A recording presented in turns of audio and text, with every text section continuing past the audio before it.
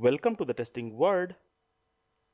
In this session, we are going to understand advantage of REST services over SOAP services. So we are going to understand few advantages. First advantage is REST services are light weighted. Means less data is going to be transferred between client and server machine and ultimately it need less bandwidth and it will be fast. Reason behind REST services are lightweighted is that in case of the REST, we can transfer the data between the client and the server by using different formats like we can use JSON format, we can use TXT format. So many formats are supported here in the REST. But in a case of SOAP, we can transfer the data only by using XML which is a heavyweight because each data is transferred between two tags. One is starting tag and one is end tag. It's going to send data as well as tag which will take more bandwidth and it ultimately it will be slower in execution.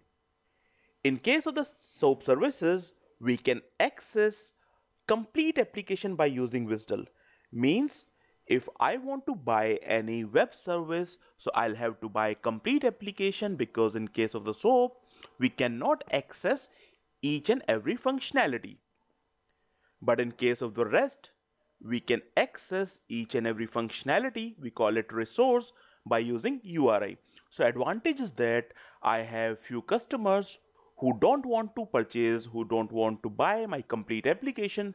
They want to buy only one or few functionalities. So in case of the REST, I can approach to these kind of customers. I can sell my functionalities to these kind of customers by using URI. I take an example of an application. I'm taking example of the tax calculation application. So application or I'll say web service is supporting income tax, sale tax, service tax and many other taxes. If that service is developed in the SOAP, as a customer I have to buy the complete service because there is no option of purchasing only one or few functionalities. But in case of the rest, I can approach to the company and I can buy only one functionality by using URI. So ultimately as a service provider or the company which has developed the services can approach more small customers. So ultimately they are going to get more benefit out of it.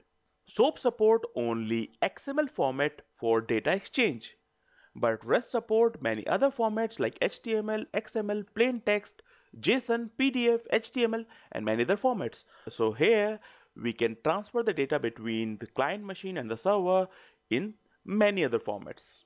In case of the REST services, we can use all the main methods of HTTP protocols like GET.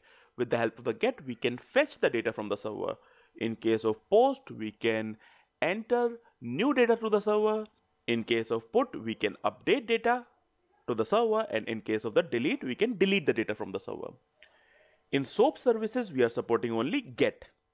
SOAP services define standards like W3 standards need to be strictly followed while developing SOAP services, which is going to take more time to develop, test and use. But in the case of the REST services, it does not follow any standards, so it will be much faster in development, testing and use. That's all we have for this session. Thanks for watching this video.